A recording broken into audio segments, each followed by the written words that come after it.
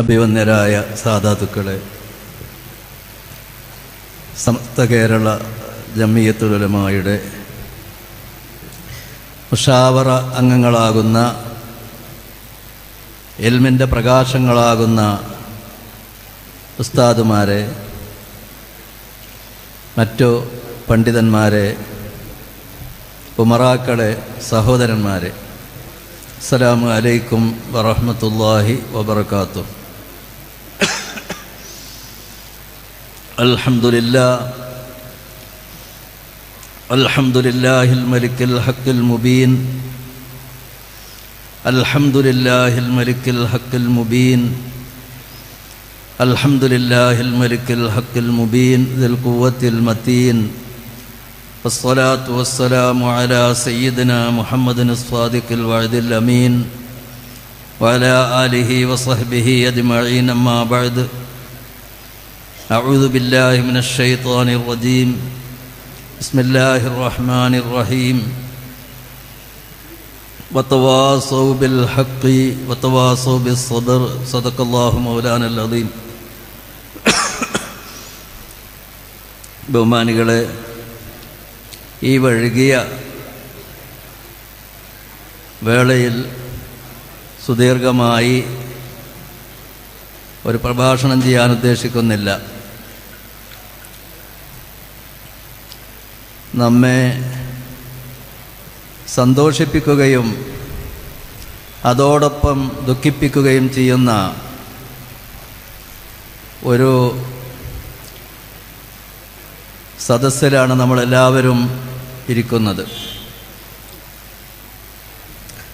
സുപ്രഭാതം പത്രത്തിന്റെ മൂന്നാം വാർഷികം ഗംഭീരമായി കൊണ്ടാടുക എന്ന സന്തോഷം നമ്മുടെ പ്രിയങ്കരനായ നേതാവ് കോട്ടുമല ടി എം ബാപ്പു മുസ്ലിയരുടെ സ്മരണിക പ്രകാശിക്കുക പ്രകാശനം ചെയ്യുക എന്ന രണ്ട് പരിപാടികളാണ് ഇവിടെ നടക്കുന്നത്. നാം എല്ലാവരും ഇവിടെ ബഹുമാനപ്പെട്ട സമസ്ത കേരള ജമിയത്തുലമായുടെ ആഭിമുഖ്യത്തിൽ നടത്തപ്പെടുന്ന മുഴുവൻ പരിപാടികളിലും മുൻപന്തിയിലുണ്ടായിരുന്ന അതിന്റെ എല്ലാം നേതൃസ്ഥാനത്തുണ്ടായിരുന്ന നമ്മളുടെ പ്രിയങ്കരനായ നമ്മുടെ സഹോദരൻ നമ്മുടെ നേതാവ് കോട്ടമല ബാപ്പു മുസ്ലിയാർ നബർ അള്ളാഹു മർക്കദഹു അദ്ദേഹത്തിന്റെ കബറിടം അള്ളാഹു സ്വർഗത്തോപ്പാക്കി കൊടുക്കുമാറാവട്ടെ.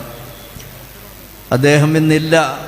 ഇന്ന് നാം അദ്ദേഹത്തിന്റെ സ്മരണിക പ്രകാശനം ചെയ്തിരിക്കുകയാണ്. ബഹുമാനപ്പെട്ട മുസ്ലിം ഉമ്മത്തിന്റെ അനിഷേധ്യ നേതാവ് പാണക്കാട് സയ്യിദ് ഹൈദരലി ഷിയാബ് തങ്ങളുടെ മുബാറക്കായ കരങ്ങളെ കൊണ്ട് അതിന്റെ പ്രകാശനം നിർവഹിക്കപ്പെട്ടിരിക്കുകയാണ്. ഈ അവസരത്തിൽ എല്ലാവരോടും പറയാനുള്ളത് ആ സ്മരണികയുടെ കോപ്പികൾ കയ്യിൽ കൈവശപ്പെടുത്തി അത് വീട്ടിൽ കൊണ്ടുപോയി വെക്കാനുള്ളതല്ല അത് മുഴുവനും വായിച്ച് ബാപ്പും ശ്രീയെ സംബന്ധിച്ച് പഠിക്കുകയും അതിൽ നിന്ന് പാഠങ്ങൾ ഉൾക്കൊള്ളുകയും ആ പാഠങ്ങൾ ജീവിതത്തിൽ പകർത്തുകയും ചെയ്യാൻ നാം ശ്രമിക്കണം. ബഹുമാനപ്പെട്ട ബാപ്പും ശ്രീയരുടെ കൂടെ ഒപ്പം നിന്നുകൊണ്ട് സമസ്ത കേരള ജമ്മിയത്തുലമാക്ക് വേണ്ടിയും സുപ്രഭാതം പത്രത്തിനു വേണ്ടിയും പ്രവർത്തിച്ചിരുന്ന നമ്മുടെ പ്രിയങ്കരനായ സഹോദരനായിരുന്നു തിരുക്കാട് മുഹമ്മദ് ഫൈലി അദ്ദേഹത്തിന്റെ വിയോഗവും നമ്മെ ദുഃഖിപ്പിച്ചിരിക്കുകയാണ്. ഈ രണ്ട് വ്യക്തിത്വങ്ങൾ നാം ആരും പ്രതീക്ഷിക്കാതെ എന്നെ സംബന്ധിച്ചിടത്തോളം പനങ്ങാങ്ങര എന്ന് പറയുന്ന അല്ലെങ്കിൽ രാമപുരം എന്ന് പറയുന്ന സ്ഥലത്ത് താമസിക്കുന്ന എന്നെ സംബന്ധിച്ചിടത്തോളം വലഭാഗത്തേക്ക് തിരിഞ്ഞു നോക്കിയാൽ ബാപ്പു മുസ്ലിയാർ ഇടഭാഗത്തേക്ക് തിരിഞ്ഞു നോക്കിയാൽ തിരൂർക്കാട് മുഹമ്മദ് ഫൈലി.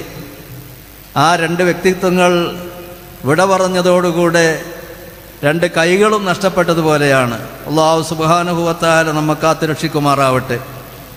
ബഹുമാനപ്പെട്ട മുഖ്യമന്ത്രി അതേപ്രകാരം തന്നെ ബഹുമാനപ്പെട്ട തങ്ങളവറുകളും മറ്റുള്ളവരും ഇവിടെ പത്ര പ്രവർത്തനങ്ങളെ സംബന്ധിച്ച് ധാരാളം പറയുകയുണ്ടായി.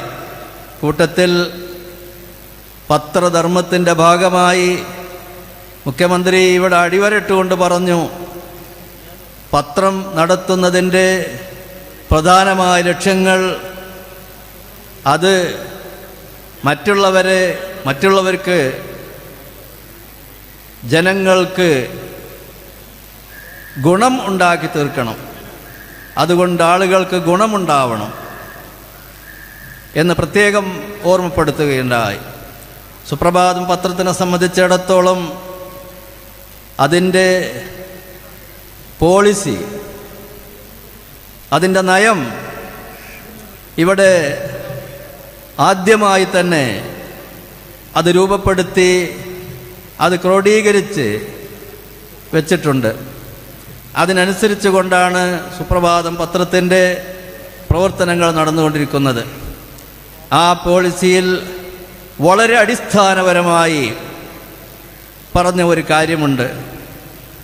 അത് മാത്രം മനസ്സിലാക്കിയാൽ സുപ്രഭാതം പത്രത്തിന്റെ സ്വഭാവം എന്താണെന്ന് നമുക്ക് മനസ്സിലാക്കാൻ സാധിക്കും. സുപ്രഭാതം പത്രം വാർത്തകൾ പ്രസിദ്ധീകരിക്കാനുള്ളതാണല്ലോ. ഏതൊരു പത്രമാണെങ്കിലും വാർത്തകൾ പ്രസിദ്ധീകരിക്കാനുള്ള മാധ്യമം. സുപ്രഭാതം പത്രം അതിന്റെ പോളിസിയിൽ വളരെ ഊന്നി പറഞ്ഞിട്ടുള്ള ഒരു കാര്യം. ഏത് വാർത്തകളും സത്യസന്ധമായ നിലയ്ക്ക് പ്രസിദ്ധീകരിക്കുന്നത് പ്രസിദ്ധീകരിക്കുമ്പോൾ തന്നെ അതിന്റെ കൂടെ ശ്രദ്ധിക്കേണ്ടുന്ന വളരെ പ്രധാനപ്പെട്ട ഒരു കാര്യം. വാർത്തകൾ രണ്ട് വിധമാണ്. നന്മകളുള്ള വാർത്തകളുണ്ടാവും തിന്മകളുള്ള വാർത്തകളുണ്ടാവും. വാർത്തകളെ രണ്ടായി നമ്മൾക്ക് തരംതിരിക്കാൻ സാധിക്കും.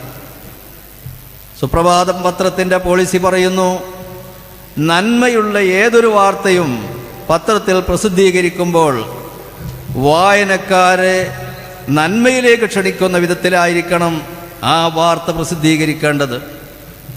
തിന്മയുള്ള ഏതൊരു വാർത്ത പ്രസിദ്ധീകരിക്കുകയാണെങ്കിലും ആ തിന്മയിൽ നിന്ന് വിട്ടുനിൽക്കാൻ വായനക്കാരെ പ്രേരിപ്പിക്കുന്ന രീതിയിലായിരിക്കണം ആ വാർത്ത പ്രസിദ്ധീകരിക്കേണ്ടത്. ഈ ഒരു തത്വം അടിസ്ഥാനപരമായി ഒരു തത്വം പത്രമാധ്യമങ്ങൾ ശ്രദ്ധിക്കുകയാണെങ്കിൽ ഇവിടെ ഒരു പ്രശ്നവും ഉണ്ടാവുകയില്ല. മുഖ്യമന്ത്രി പറഞ്ഞതുപോലെയുള്ള നന്മകൾ മാത്രമേ ഇവിടെ ഉണ്ടാവുകയുള്ളൂ. അതാണ് സുപ്രഭാതം ലക്ഷ്യമാക്കുന്നതും അതിന്റെ പ്രവർത്തന രീതിയും അതാണ്. സുപ്രഭാതത്തിനെ സംബന്ധിച്ച് പറയുമ്പോൾ അത് തന്നെ ബഹുമാനപ്പെട്ട ഷെയ്ഖുന ബാപ്പു മുസ്ലിയാരുടെ അനുസ്മരണമാണ്. ബഹുമാനപ്പെട്ട ബാപ്പു മുസ്ലിയാർ സുപ്രഭാതത്തെ സംബന്ധിച്ച് പറയുമ്പോൾ അതിന്റെ വിജയത്തെ സംബന്ധിച്ച് പറയുമ്പോൾ അതിന്റെ പ്രത്യേകതയെ സംബന്ധിച്ച് പറയുമ്പോൾ അതെല്ലാം യഥാർത്ഥത്തിൽ സമസ്ത കേരള ജമിയത്തുലമായുടെ പ്രത്യേകതകളാണ്. എന്തുകൊണ്ടാണ് ഇങ്ങനെയുള്ള ഒരവസ്ഥ സുപ്രഭാതം പത്രത്തിനുണ്ടായത്? അത് സമസ്തയുടെ മഹത്വമാണ്. സമസ്തയുടെ പ്രത്യേകതയാണ്. ബഹുമാനപ്പെട്ട സമസ്ത കേരള ജമിയത്തുലമായ ആദർശ വിശുദ്ധിയുടെ തൊണ്ണൂറ് വർഷം പിന്നിട്ട സമസ്തയെ പരിചയപ്പെടുത്തുന്നതിന് വേണ്ടി ഈ രാജ്യത്തെ ജനങ്ങൾക്ക് പരിചയപ്പെടുന്നതിന് വേണ്ടിയാണ് ഒരു വർഷം മുമ്പ് ആലപ്പുഴയിൽ ഇരുപത്തിയഞ്ച് ലക്ഷം ആളുകൾ പങ്കെടുത്തുകൊണ്ടുള്ള വളരെ പ്രധാനപ്പെട്ട ഒരു സമ്മേളനം നടത്തിയത്. സമസ്തയെ സംബന്ധിച്ച് പരിചയമില്ലാത്ത അനേക ലക്ഷം ആളുകൾക്ക് ആ സമ്മേളനത്തോടുകൂടെ സമസ്തയെ മനസ്സിലാക്കാൻ സാധിച്ചു. എന്താണ് സമസ്ത എന്ന് മനസ്സിലാക്കാൻ സാധിച്ചു. അതിന്റെ വിശുദ്ധി അതിന്റെ ആദർശ വിശുദ്ധി അതിന്റെ മതസൗഹാർദ്ദവും ജനസൗഹാർദ്ദവും എന്താണെന്ന് മനസ്സിലാക്കാൻ സാധിച്ചു.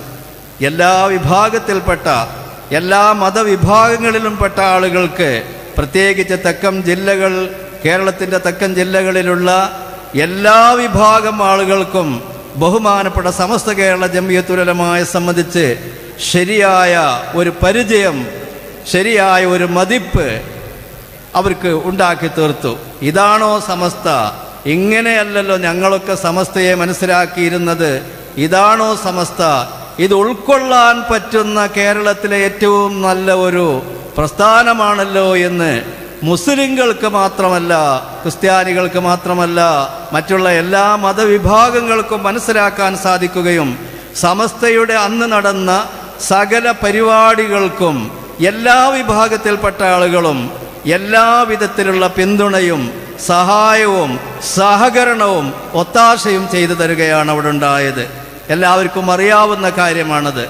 ഇങ്ങനെയുള്ള ബഹുമാനപ്പെട്ട സമസ്ത കേരള ജമിയത്തുലമായെ ഇവിടുത്തെ ജനലക്ഷങ്ങൾക്ക് പരിചയപ്പെടുത്തിയ സമസ്തയുടെ ചരിത്രത്തിൽ തന്നെ ആലപ്പുഴയുടെ ചരിത്രത്തിൽ തന്നെ ഇല്ലാത്ത ഒരു വലിയ മഹാസമ്മേളനം അവിടെ നടന്നു. അതിന്റെ കൊടി പിടിച്ചിരുന്നത് ആരായിരുന്നു? ആ സമ്മേളനത്തിന്റെ കൊടി പിടിച്ചിരുന്നത് ബഹുമാനപ്പെട്ട ബാപ്പു മുസ്ലിയാരായിരുന്നു. അദ്ദേഹത്തെ സംബന്ധിച്ച് ബഹുമാനപ്പെട്ട തങ്ങൾ പറഞ്ഞു ചാപ്പനങ്ങാടി ബാപ്പു മുസ്ലിയാരുടെ മരുമകനാണ്. കോട്ടുമല അബുബക്കർ മുസ്ലിയാരുടെ പുത്രനാണ്. ഷംസുല്ലുലമ മഹാനവറുകളുടെ പ്രിയപ്പെട്ട ശിഷ്യനാണ് എന്ന് ബഹുമാനപ്പെട്ട സയ്യിദ് ഹൈദർ അലി ഷിഹാബ് തങ്ങൾ ഇവിടെ അദ്ദേഹത്തിന്റെ പ്രസംഗത്തിൽ ഓർമ്മപ്പെടുത്തി. പക്ഷേ അദ്ദേഹം ഒരു കാര്യം കൂടി പറഞ്ഞിട്ടില്ല. അത് പറയേണ്ട ആവശ്യമില്ലാത്തത് കൊണ്ടാണ് അത് പറയാതിരുന്നത്. കാരണം തങ്ങളാണല്ലോ പറയുന്നത്. പിന്നെ അത് പറയേണ്ട ആവശ്യമില്ല. എന്താണ് ആ കാര്യം? ബഹുമാനപ്പെട്ട പാണക്കാട് സാദാത്യങ്ങളോടുള്ള അവരുടെ ഉറ്റ സുഹൃത്തു കൂടിയായിരുന്നു ബഹുമാനപ്പെട്ട കോട്ടുമല ബാപ്പു മുസ്ലിയാർ. ഈ നാല് ഘടകങ്ങൾ ഒരുമിച്ച് കൂടിയപ്പോൾ ആത്മീയമായ ആ പ്രകാശം ആ പ്രസരിപ്പ് ബഹുമാനപ്പെട്ട ബാപ്പു മുസ്ലിയാർക്കുണ്ടാവുകയും ആത്മീയമായ ആ പ്രസരിപ്പിലൂടെയാണ് ബഹുമാനപ്പെട്ട ബാപ്പു മുസ്ലിയാരുടെ സകല ശക്തികളും പ്രവർത്തിച്ചിരുന്നത് എന്ന് മനസ്സിലാക്കേണ്ടതുണ്ട്.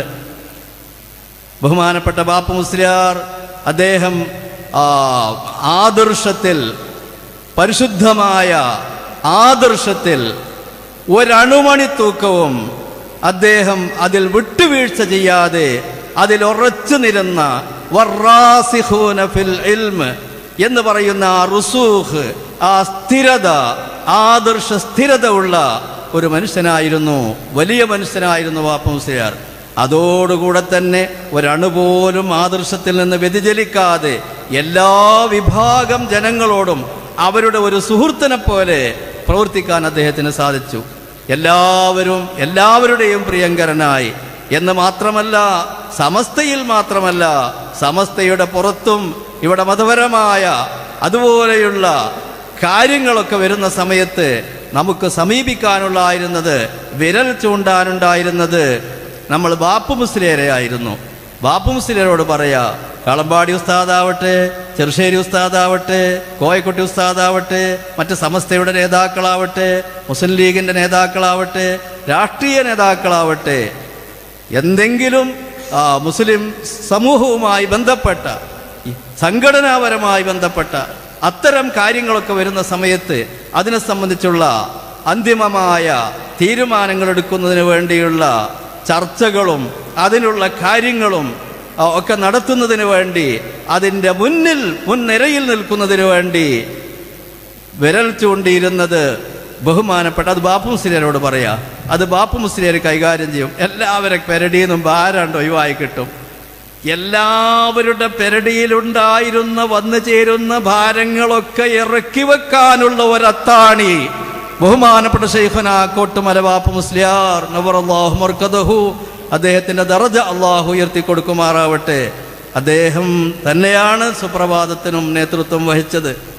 അലഹമില്ല അള്ളാഹു സുബാനുഹൂവത്താല അദ്ദേഹത്തിന്റെ ജീവിതം അറുപത്തേഴ് വർഷത്തെ അദ്ദേഹത്തിന്റെ ജീവിതം മുഹമ്മദ് ഫൈലിയുടെ ജീവിതം അതുപോലെ നമ്മളോട് മൺമറഞ്ഞു പോയ മഹാത്മാക്കളുടെ പണ്ഡിതന്മാരുടെ സമസ്ത നേതാക്കളുടെ ഒക്കെ ജീവിതം അള്ളാഹു സുബാനുഹൂവത്താല അവരെ കൊണ്ട് ഉദ്ദേശിച്ച ദൗത്യമുണ്ട്. അവരെ കൊണ്ട് അള്ളാഹു ഉദ്ദേശിച്ച ദൗത്യമുണ്ട്. ആ ദൗത്യം പൂർത്തിയാക്കിയതിന്റെ ശേഷം തന്നെയാണ് നമ്മളോട് അവരിവിടെ പറഞ്ഞിട്ടുള്ളത്. അള്ളാഹു ഉദ്ദേശിച്ചത് പൂർത്തിയായി. അവരെ കൊണ്ട് അള്ളാഹു ഉദ്ദേശിച്ചത് പൂർത്തിയായി. അള്ളാഹു പൂർത്തിയാക്കി.